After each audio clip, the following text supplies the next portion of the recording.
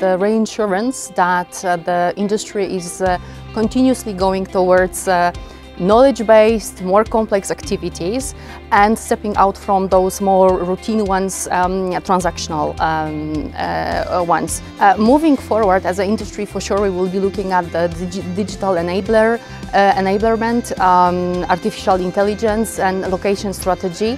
Uh, but I believe that we together, we need to think about how we can influence the inflow of the talents.